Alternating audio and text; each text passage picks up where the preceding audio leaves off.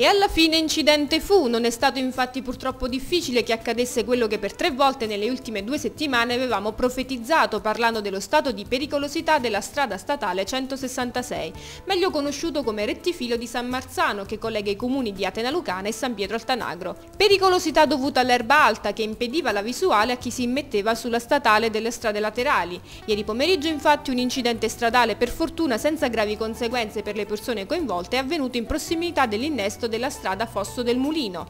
La visibilità infatti sia su questo tratto di strada che su molti altri presenti nel territorio dell'intero Vallo di Diano era praticamente impossibile in seguito all'ulteriore crescita dell'erba lungo i lati della strada. Erba che rendeva impossibile vedere per chi si metteva sulla statale dalla strada secondaria l'arrivo di auto in transito il rischio era quindi quello di mettersi sulla strada scontrandosi con altri veicoli, proprio come è successo ieri pomeriggio. Questa mattina però finalmente, come d'incanto, sono comparsi gli operai dell'ANAS per tagliare l'erba lungo la statale, operando così un servizio per gli automobilisti che fino ad oggi sembrava così difficile da realizzare.